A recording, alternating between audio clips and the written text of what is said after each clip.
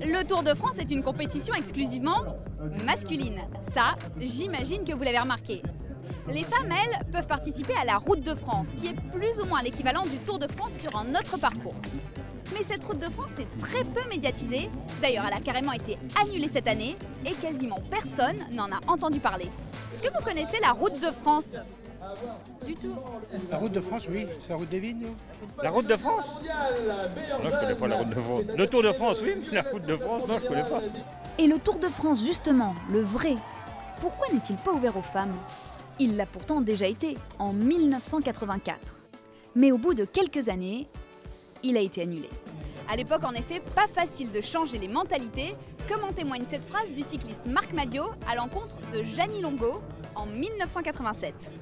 Voir une femme danser, c'est très joli. Voir une femme jouer au football, c'est moche. Et je le dis. Tiens, mais pourquoi Voir une, voir une femme Pourquoi sur un vélo, c'est moche. C'est mon opinion.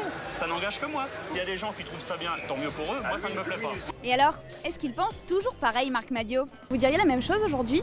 Sans doute pas. Chacun fait ce qu'il a envie. Un garçon, il n'est pas obligé de faire du vélo, une fille non plus. Mais une fille sur un vélo, c'est bien aujourd'hui. C'est beaucoup mieux qu'avant, en tous les cas.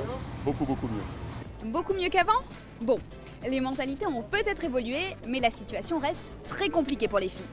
Déjà, les femmes cyclistes professionnelles n'ont pas de salaire minimum, contrairement aux hommes, et de manière générale, elles sont moins médiatisées.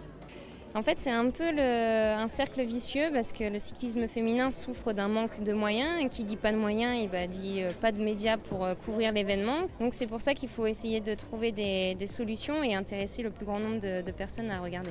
Bon, en tout cas, de nombreuses cyclistes femmes ont décidé d'agir.